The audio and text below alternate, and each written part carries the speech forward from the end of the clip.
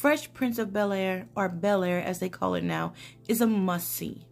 If you like the original version, you should like this one also. It pays homage to the original by adding memorable elements, but without watering down today's new cast.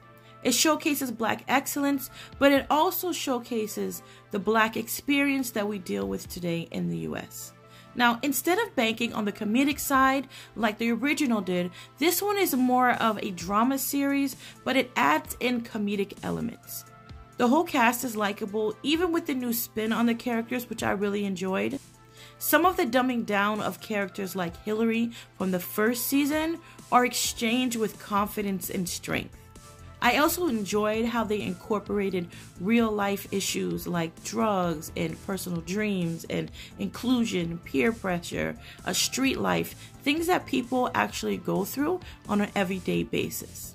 It's shot really well and it gives you depth to each story inside of the series. Now, Will this season is still likable as ever. He has the confidence, he has the sarcasm, but still maintains that innocence.